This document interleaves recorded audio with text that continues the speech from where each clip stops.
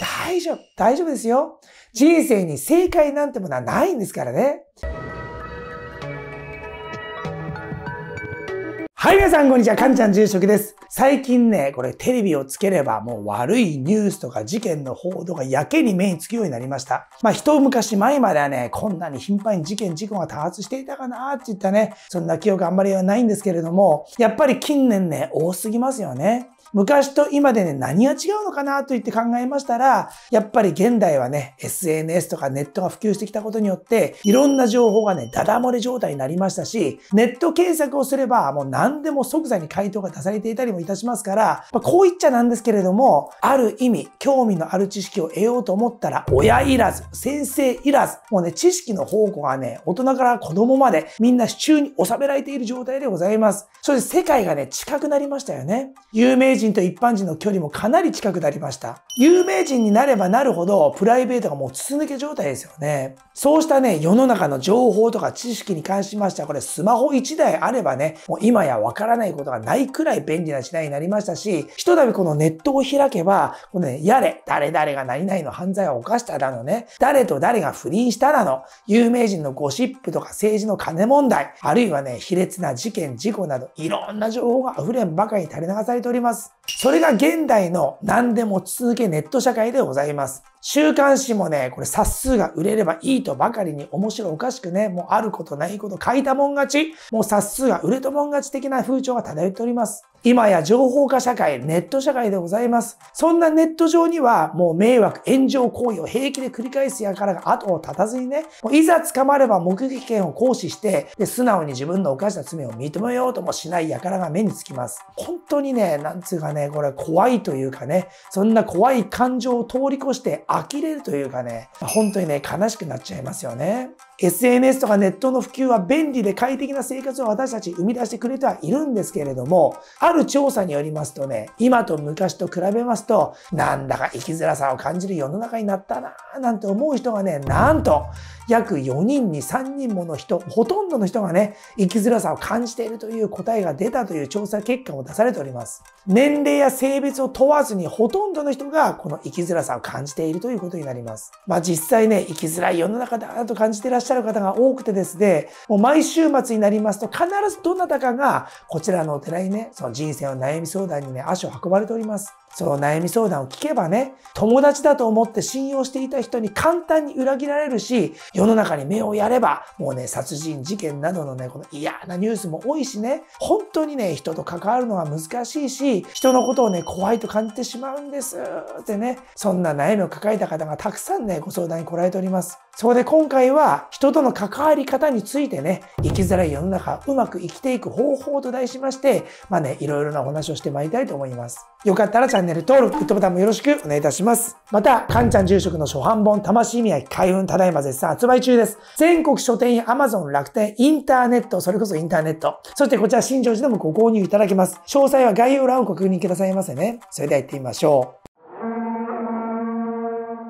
今やね、このスマホとかね、ネットがこれ必須の世の中ででしてね。で、家にいても、どこにいてもね、人とのつながりを意識して生活しなくてはいけなくなったという風潮が漂っていることで、もうね、生きづらさを感じる人のそれがね、要因になっているようでございます。確かにね、これ一昔前までは知らなくてもよかった情報なんかね、これ自分が求めずして勝手に耳に入ってくるし、昔は知らずにね、生活してこられたことでも、情報化社会の中で嫌が王でを耳に入ってしまって、そうした情報や知識がどんどんどんどん自分に詰め込まれ続ける中でね、余計なことを考えて周りの空気を読んでしまって、自分で自分の人生をね、制御してしまっていらっしゃる方がね、とても多いんですよね。本当は自分がこれがやりたいのに、その本当にやりたいことができなくなっていたりとか、もう遠慮してね、もうなんか周りの空気が怖くて、手をつけられなくてね、もう自分でひっそりとね、生活していらっしゃる方もね、もう結構いらっしゃるんですよね。生きづらさというこの言葉の中には、社会情勢とか、あるいは人間関係、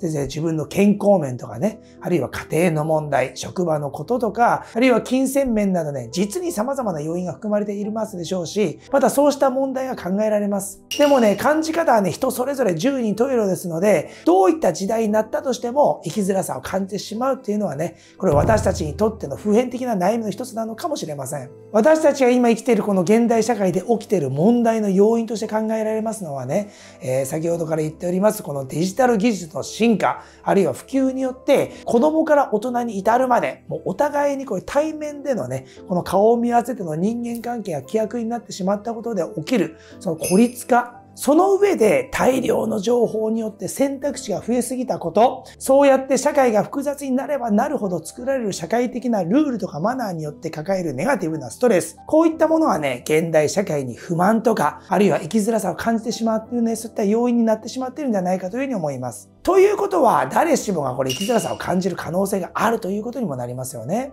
ネットの世界ではインフルエンサーと呼ばれる著名人とか芸能人とかに対しましてね、もう見ず知らずの匿名の相手から容赦のない攻撃を受ける道具にされてしまう、そういった人間関係が規約になった寂しい時代でもあります。私たちはね、一人では生きていけない生き物でもあると思います。誰かに評価されて、頼りにされて、求められるからこそね、やる気も出るし、その人のためにと思えばこそ頑張る力が湧いてくることだってあるもんでございます。ところが、誰からも求められない人間関係が契約になったこの現代のこの時代ではね、ネットがあれば必要な知識が得られるとばかりに、誰とも関わらない人がいたりですとかね、関わるから面倒に巻き込まれると考える人もいらっしゃいます。詐欺まがいなことを仕掛けてくる輩の存在などによってね、人のことも信用できない人も増えてしまいました。そして下手にね、人を信用してしまえば、自分が馬鹿を見ることになる。その人がいつ反旗を翻して自分の敵になるやもしれないというね、そんな危うい人間関係の中で犯罪が繰り返されたりもしておりますから、簡単に人を信用できない。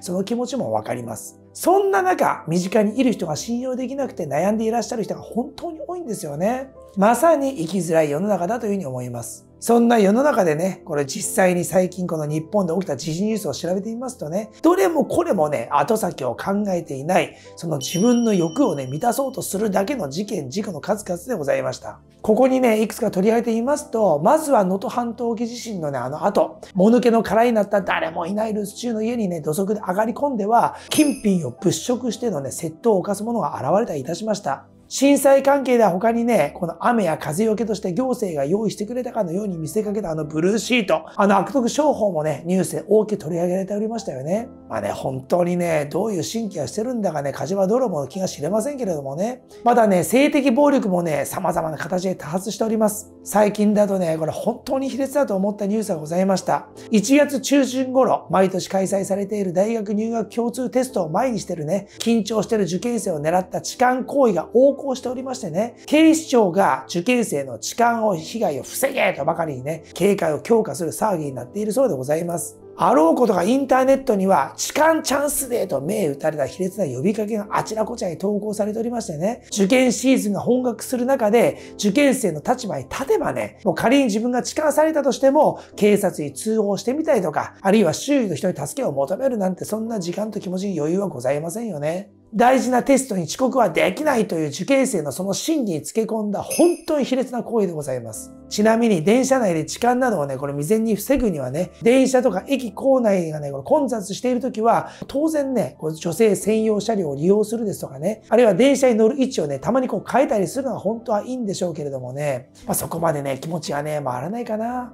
まあ、ちなみにね、電車内で痴漢行為に遭いやすいとされておりますのが、車両の連結部に近いね、奥まったところですとか、あるいは混み合うドア付近と言われておりますのでね、せめてそういうエリアは避けるようにしてね、普段から意識して乗られたらよろしいかと思います。いらぬ犯罪に巻き込まれないように、犯罪を未然に防げるように、自分自身でしっかり対処しておくことも大事なことでございます。それから性的な犯罪はね、閉鎖された家庭内で実の親子関係の間でも起きていたりもいたします。実の娘を性的対象として見てみてしまうね、その親父の思考回路とか価値観っていうのはね、本当にね、理解しがたいものがあるんですけれども、まあでもね、実際は少なくないのかもしれません。直近で言えばね、昨年12月、佐賀で起きた親子間のわいせつ事件があったようでございます。10代の娘に対しまして、わいせつな行為を繰り返していた50代の父親がね、このね、看護者わいせつの容疑っていうね、その容疑があるんですけれども、それで逮捕されました。私は保護士として担当させていただいた事件の中にもね、その同じような事件がございます。え結果的に逮捕されて、懲役10年の刑が言い渡されることになりました。10年の刑を終えて出所してきたとしましてもね、もう金輪際、我が子には近づけないですし、後半生でね、どれだけ改心したとしても、厳しい社会の目にさらされながら生ききていかなきゃいけないというね、そういった十字架を背負うことになりました。また、殺人事件もね、これ信じられないくらいね、本当に多いですよね。テレビをつければ、またなのって言っちゃうぐらいね、映画かドラマを見ているかのようなもう卑劣なね、犯行がね、もう本当に毎日のようにね、これ報道されておりますよね。そうした報道をね、目の当たりしているだけでも気がめいってまいります。最近ではね、愛媛県のスタバの店舗で男性客がこれ白昼堂々ね、何者かに射殺されたという事件がね、勃発しましたよね。それもね、大型商業施設イオンタウンに入っているスタバでですよ。買い物客で似合うね、日曜日の午後4時頃に発生した事件ですから、まあね、おそらくちっちゃなね、お子さんからね、大人まで多くの人がね、行き交う最中の犯行だったかと思います。近隣住民はね、2発の銃声を聞いたと言っておりました。結果的に被疑者と容疑者というのは暴力団組員でね、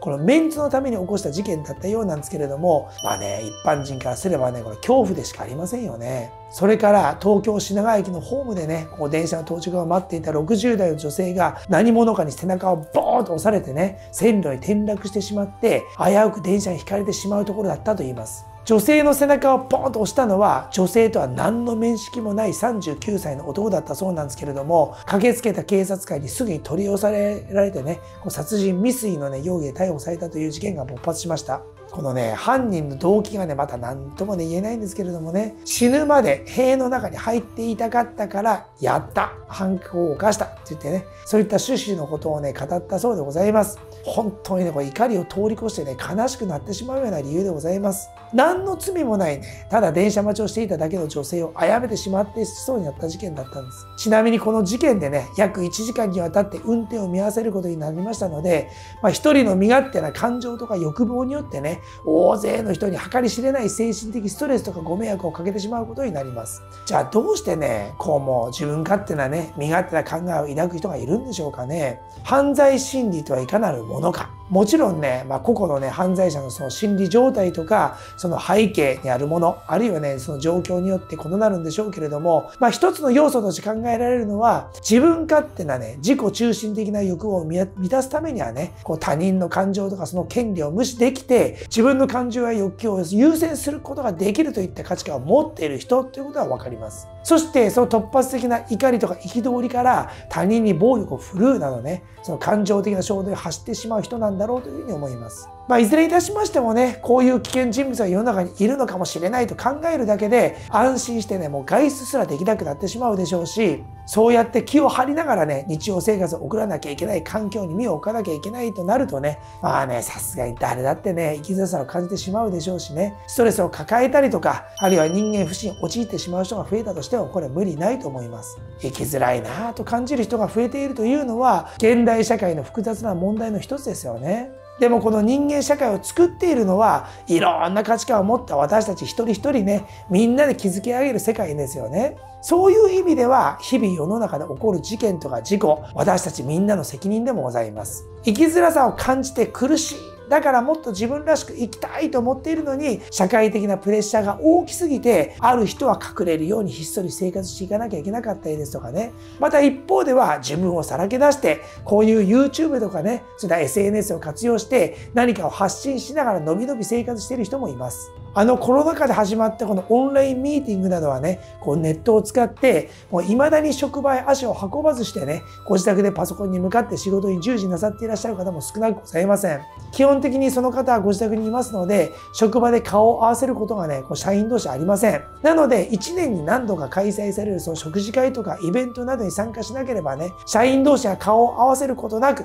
同じ職場の社員として働いている人もおられるということになります。そうやって人と人が触れ合う機会がぐっと減ってまいりました。皆様ね、この便利の定義って何かご存知でしょうかね？人と触れ合わないでことを済ませることなんですよ。自動販売機、自動改札。富山にもね、これ回転寿司のお店がたくさんありますけれども、お寿司のオーダーもほとんどタブレットでございます。かつてはね、この回転寿司だったとしても、このカウンターがありましてね、目の前でお寿司屋さんのこの大将がね、握る、こう、大将が握ってるんですよ。で、直接ね、この回転寿司を取らない直接の大将にオーダーをして、そのままね、皿に乗せてポンと出してもらった時代がございました。フランチャイズのお店なんかではね、もう AI ロボットが主流になりましたよね。便利はね、便利としてね、これはとってもいいことなんですけれども、この便利の定義をね、少し変えていけたらいいなぁなんて思ったりもいたします。SNS の普及にしてましてもね、この見ず知らずの人が、その人のね、自分の思いだけで、その一方的な思いを何気なくぶつけてくることがございます。そして発信している人自身もね、自分と誰かを比較しては、一喜一憂しているような人もいらっしゃいます。自分と人を比較するっていうのは、あくまで自分自身を見つめるためなら、これはね、意義がございますよ。自分がより頑張れるためだったりとかね、その人から何かを学び取ろうとするその前向きな気持ちあってのこと、それで比較できるそのね、価値はそこにあろうかと思います。そうした気持ちがね、良い意味での切磋琢磨を生むんでしょうし、良い意味でのね、ライバルにもなり得る刺激し合えるね、そういった建設的な関係にもなるもんだというふうに思います。比較されやすい時代ではありますけれども、比較するのは優劣や勝敗などの視力をつけるためのものではありませんし、はっきりと視力をつけられるものでもございません。自分にあって人にないものもあれば、その人にあって自分にないものも当然ございます。人はみんな完璧ではありませんので、その人がいつだって100%ってことはありえません。なので、もしね、自分と人を比較して、自分はダメな人間だな、なんてね、自信喪失しまっている自分がいることに気がつかれたとしたら、そもそもみんな違ってみんないいんだというふうに思い直していただければと思います。評価されやすい時代でもありますし、だからこその生きづらさなんだろうなというふうにも思いますから、あくまで自分らしくとはいえね、相手の気持ちもおもんばかれる自分であってほしいと思います。人をおもんばかる気持ちは伝播してきますよ。そして自分も人からおもんばかっていただける自分になれると思います。かつて大谷総一氏というね、その日本のジャーナリストでノンフィクション作家でね、まあ評論家でもあった方がおっしゃっておられました。一億総評論家時代が近い将来日本に到来するとね、まあ、この人はね、口コミというね、そういった造語も生み出した人でもございます。ネットが普及した今はね、もう国民どころか世界人類皆評論家時代ですよね。世間の目が光っていると思えばね、まあそりゃ誰だってね、生きづらくもなるし、たとえ自分らしく SNS を発信してみてもね、容赦なくアンチの雨あられが降ってきてはね、自己嫌悪、ますますね、自信を失ってしまう人もおられることでしょう。社会的にはね、ハラスメントというもうね、これ、もんどころにね、戦々恐々としております。こんな世の中もううんざりだわ、と思った人はね、実はね、気がつけばいつの間にか自分自身がアンチ代表になり下がってしまっていて、人の足を引っ張ることに生きがいすら覚えてしまっているなんてこともあるかもしれませんよ。何かの商品を購入する際にね、一般ユーザーが投稿したあの口コミのレビューを参考にして商品とかサービスを選ぶことも珍しくなくなった現代ではね、まさに一億総評論家時代と言えます。一昔前までは暗黙の了解で住んでいたものがね、何かにつけ説明責任がついて回るようになりました。人から人へ伝播される噂話、その真偽は別としましても、自分の意見を自由に発信できる平等感が、これはね、悪いとは思いませんけれども、その気軽な便利さがこの危ういんですよね。その人が大切にしているデリケートなところに土足で踏み入ってはね、心をつたつたに傷つけてしまうこともあると思います。相手の気持ちをおもんばかる優しさにかけた、その相手の感情とか権利を無視してね、自分の感情や欲求を優先したことで、結果的に生きづらさを感じる世の中になってしまっているんではないかなというふうには思います。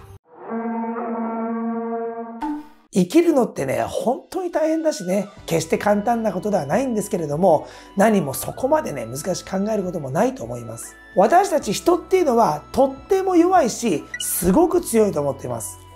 忖度しすぎて空気を読みすぎますとね、どんどんどんどん自己嫌悪に陥ってしまって人間が弱くなっていくような気がするんですよね。転んでね、この膝をすりむいたら、この自己治癒力でね、もう放っておけばそのうちかさぶたになってね、傷も癒えていきますけれども、せっかくかさぶたになって治りかけのその傷がね、ちょっと気になりだしたらね、もうちょっと触ってしまいますよね。で触っているうちにそのかさぶたがまた剥がれてしまって、また最初から時間をかけて回復をね、測らなきゃいけなくなってしまいます。おまけに最初はね、このほんの小さなね、この蚊に刺されたかのような傷だったとしてもね、まあ気になればね、気になりますよね。で、で気になってこう触っているうちにね、少しずつこの傷口がどんどん広がっていってね、最初は気にもならなかった傷だったはずなのに、見た目にもね、この大きなあざくらいの傷に広がってしまうなんてこともね、あろうかと思います。意識のその置きどころによってめちゃくちゃ気にもなるし、逆に気にもならないもんでございます。それだけ人はね、弱くもあり、そして強くもある生き物なんですよね。生きづらい世の中を自分らしくマイペースで歩を進めるためには、まずはそんな弱い自分を認めてあげることが大事だと思います。自分自身を理解することは、自分が何を望んでいるのか、何が自分を幸せにするのかを理解するための第一歩になります。そうしてね、ポジティブな考えを持つことも困難な状況を乗り越えるのに役立ちますよ。何か問題に直面した際は、その問題を乗り越えることで人間力のステージが上がってまいります。なので、人生の困難に直面した時は、魂レベルのステージを上げるチャンスだと捉えられてね、自分自身を信じることがこれ大切でございます。こういう世の中なので人のことは信用できないという人が多いんですけれども、人のことを信じるためには、まずは自分自身のことを信じられるようになりましょう。自分のことを信じられない人はね、人のことも信じられるはずがございません。自分を信じられた時に人のことも信じられる自分になります。そもそも人は一人では生きていけないですし、大きな問題を解決したり、新しいチャレンジへ踏み出す時にも、やっぱりね、これ周りでサポートしてくださる人の存在というのはね、とっても大きな力になりますからね。そうした人としっかり繋がり合う絆は、生きづらく感じるこの世の中でね、人生の壁にぶち当たった時に、そっとね、この背中を支えてくれるとっても大切な存在にもなります。あと何かを目指して頑張っていらっしゃる人というのは、ある一定のゴールを定めていると思いますので、それはね、これとってもいいことだと思いますよ。ただし、その目指すものが達成できなかったからといってね、自分を責めるのはこれ間違っております。目指していた目標が途中で変わってしまうなんてこともね、これは往々にしてあるもんですし、何でもかんでも叶えられるもんでもありませんしね。だから、途中で向かう道が方向転換したとしてもね、物事がスムーズにこう進まなかったとしても、何も心配することはございません。長い人生にはいろんな想定外のことが起こるもんでございます。だから人生は面白いんだと思いますし、一つ間違えれば生きづらさも感じちゃうんだと思います。そこで心配なさっているそこのあなた、大丈夫、大丈夫ですよ。人生に正解なんてものはないんですからね。自分の信じた道を自分を信じて進めば、あなたらしく道を必ずね、切り開けるはずですからね。だから大丈夫です。あのかさぶたを剥がすようにね、世の中で起きる事件、事故とか天災などにね、怖さを感じて、ネガティブなことに意識をフォーカスしてしまいますと、結果的に人と付き合うのも怖くなって、何も手につかなくなると思います。ネガティブな感情を抱いておりますと、ネガティブなことを引き寄せてしまってね、向こうの方から寄ってきてしまいます。自分の気持ちを押し殺してまで無理に人と関わる必要はないんですけれども、でも一人では生きていけませんので、ちゃんとね、自分でこの見る目を養って、相手を選べるだけの自分という軸をしっかり持っておくことはこれ大事でございます。人って失敗してなんぼだと思います。失敗するから学ぶし、人間的にも成長できますしね。それに、そもそも失敗するってことは、何かにチャレンジした証拠でもありますよね。もし毎日が平々凡々変わり映えのない安住の地に身を置いていたとすれば、失敗もなければ成功する喜びも味わえるわけはございません。なので、失敗しただけ、ある意味ね、背伸びして頑張ったってことだと思います。そんなあなたはね、よく頑張っていらっしゃるんだと思います。失敗したからこそ、次に成功した時の喜びはこれ格別だと思いますし、失敗の経験は人生にとってのね、これ自分にとってのカンフル剤にもなると思います。失敗して悔しい思いをしたってことは、まだまだ伸びしろがあるってことだと思いますしね、何も悪いことじゃないと思います。むしろ失敗したりね、嫌な思いを経験したことで、これまでのことを振り返れるタイミングなんだと思いますし、悪いことが起きたことでね、改めて良い方向にシフトチェンジしていける。そんなチャンス到来なんて受け止め方もできるかと思います。何かを失えば何かを得るわけですからね。悪いことが起きるのは良いことが起きるための前兆サインでもございます。私たちは誰しも完璧な人はいません。取り返しのつかない失敗を繰り返すことだってあろうかと思います。りますただその度にね、何かを学び、そしてより良い方向へと改正していく要因にもなっていくもんでございます。生きづらい世の中、確かにそうかもしれません。ただ嘆いているだけでは何も変わりませんし、生きづらいこの世の中を生きやすい世の中に変えていくのもね、私たち自身がね、その鍵を握っているものかと思います。もし人と比べてしまう自分がいるなら、人の振り見て我が振り直せ。良きところは真似ていく強さも備えている私たちですからね。自分からかさぶたを剥がすような真似だけはしないようにしましょうね。いずれ傷も癒えて気にもならなくなろうかと思います。周りの人を見るとね、隣の芝は青く見えるもんです。そこで生きづらいと感じてしまったりとか、不安を感じるような人は、これから先の未来を過剰に心配してしまっていて、自分で自分を追い詰めてしまっているのではないかと思います。あくまで自分の人生、誰かが肩代わりしてくれるわけでもなく、自分で自分の幸せをしっかり味わってね、今に感謝する時間を過ごされるようなね、そんな日々を送っていただけることを心よりお祈り申し上げております。私たちは一人じゃ生きていけないし、お互いに支え合っていけるようなね、そんな思いやりのある優しい社会を一緒に築いてまいりましょうね。はい。ということでね、今回の話は参考になったよと思われたそこのあなた、ぜひね、チャンネル登録、グッドボタンもよろしくお願いいたします。また、コメント欄公式 LINE のメッセージをお待ち申し上げております。あと、個人的にご相談やご祈祷などご希望の方は、新庄寺のホームページ、お悩み相談という項目から直接メッセージを送っていただければ幸いです。そして、魂見合い開運、ただいま絶賛発売中です。全国書店や Amazon や楽天やインターネット、そしてもちろん新庄寺でもご購入いただけます。また、ご所望の方へは、あなたのサインと私のサインを書いてご郵送もできますからね。ご郵送方法の詳細も概要欄に貼っておきますので、ぜひチェックなさってみてくださいませね。それではまた、この動画でお目にかかりましょう。かんちゃん住職でした。